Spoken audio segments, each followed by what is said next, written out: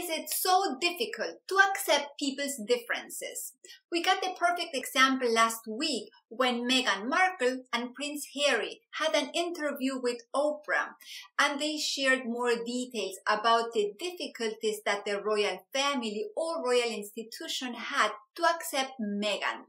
Let's take a look. In those months when I was pregnant, all around this same time, so we have in tandem the conversation of he won't be given security, he's not going to be given a title.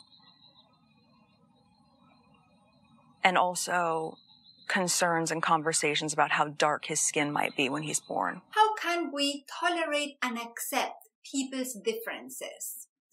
During uncertain and stressful times, it seems even more difficult to get along with each other. Even though everyone is unique and different, we all share the same basic needs to belong and to connect with others. According to Maslow's hierarchy of needs, after our basic needs for food, water, and safety are met, our psychological needs are to belong and to be loved. So the need for belonging includes being accepted and being part of a group that may be at home, at school, work, or in our neighborhood. So why is it that sometimes we are able to tolerate someone who is very different, but we are not able to accept the person? So let's take a look at what's the difference between tolerance and acceptance. Tolerance is when we agree that people from a different culture, religion, race, or sexual orientation may coexist with our own attitudes and beliefs. We tolerate others when we say hi, but do not willingly interact with the person. We leave the person alone, hoping that she will leave us alone also. Acceptance is when we think it is okay for others to be the way they are. When we accept other people, we recognize that they have their own beliefs, preferences, feelings, and values without judging or criticizing them. It is when we welcome others by interacting without trying to change them. What are the benefits of accepting people's differences?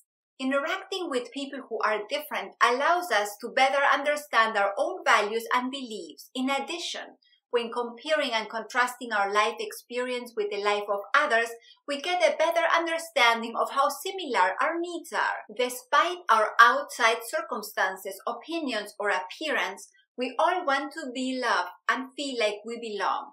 After this psychological need is met, we continue climbing Maslow's pyramid to get more of our needs met. Three easy tips to accept people's differences. The easiest way to accept people's differences is by focusing on what we have in common. Regardless of our race, sexual orientation, or culture, we want to be understood, respected, and appreciated. 1. Don't take it personally. It is easy to get upset with the words or actions of other people because we assume that their behavior is directed to us. However, most people have a pattern of behavior, such as being nice, considerate, rude, or aggressive, regardless of the circumstances. If you know some people who are disrespectful, annoying, or critical, their behavior is more an expression of themselves than of you. In order to accept people's differences, we need to take a step back and observe the big picture of what is happening. I had plenty of practice with this skill when I started working as a special education teacher. My students would curse, yell, rip papers, and flip desks when I asked them to complete an assignment. Instead of scolding them for inappropriate behavior, I would try to find out what triggered those intense feelings. It was always something that happened at home, during recess, or a thought that came into their minds. The inappropriate behavior was not related to me or the assignment, but to the student's behavior patterns. I have been using the same tip in my personal life. When people overreact, it is mostly because of something that happened to them before. Try it next time you find it difficult to tolerate or accept another person's behavior. Don't take it personally. 2. Assume the best intentions. When we assume that the other person has the best intentions, we are more open to ask questions and communicate. In addition, the more we learn about the situation, the better we will be able to accept the other person's differences.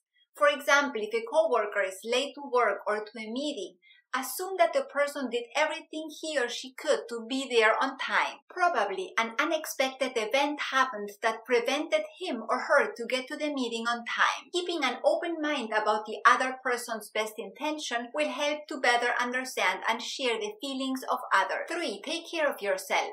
It is easier to accept people's differences once our basic needs are met and we are in a good mood. If we are hungry and did not sleep well, we will feel irritable and unable to connect with others. On the other hand, if we feel good about ourselves, we will be able to understand others from a more compassionate point of view. When we are in a good mood, we may even feel sympathy and concern for what happens to other people who are different. So what can you do?